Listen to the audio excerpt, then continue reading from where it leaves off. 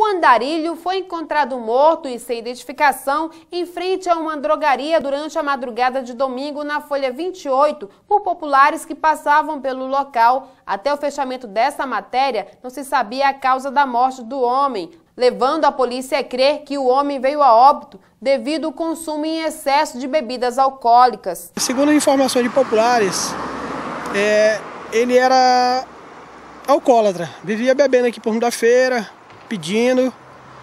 E até então a gente não tem conhecimento nem nome dele e nem de familiares. Aparentemente, da característica que foi bebida alcoólica, né? Deve ter sido cirrose, algum tipo de situação assim, em relação à bebida alcoólica.